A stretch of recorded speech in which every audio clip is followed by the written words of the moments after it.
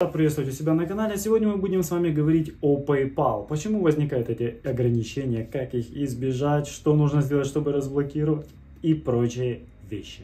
Добро пожаловать на канал Apple Expert. С вами Владимир.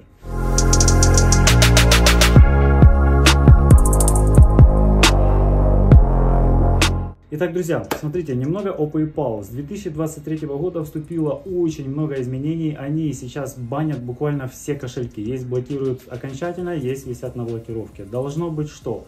Первое, в чем меня просветили? Это должна быть, э, если вы регистрируете PayPal себя, должны быть все документы для подтверждения личности, если вас бабахают там в ограничения навсегда на 180 дней, либо же это просто ограничение. Из-за чего это возникает? Любые платежи, которые к вам поступают, они просто могут система считать это как какое-то мошенничество, риски, там прочее. Они никаких ответов не дают, просто отписываются какими-то письмами, там, читайте статью, ознакомьтесь, там, ну, конкретных ответов никто не дает. Так вот, есть отличное решение, ребята, я оставлю ссылку в описании и в закрепленном комментарии, Telegram, они этим занимаются, конкретно мне помогали разблокировать мой счет PayPal.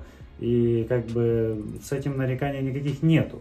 То есть они знают, как это все сделать, готовят какую-то информацию, просто по ней работаете и все. Но в моем случае это было немножко иначе, но они мне сняли эти ограничения. У меня там было счет в евро, который поступил и просто заблокировало. Просто вот.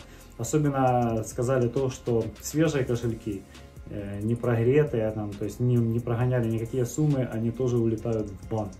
Непонятно почему система так вот считает. Но сказали, что в долларах проще работать, нежели в евро. Евро почему-то как-то PayPal сразу рубается, там, я не знаю.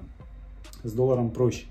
И еще что, то есть если вы создаете PayPal вот в основной валюте доллар и будете принимать евро, это тоже рискованно. Нужно его сразу переводить на евро, чтобы он какое-то время постоял, настоялся, и только тогда его можно использовать.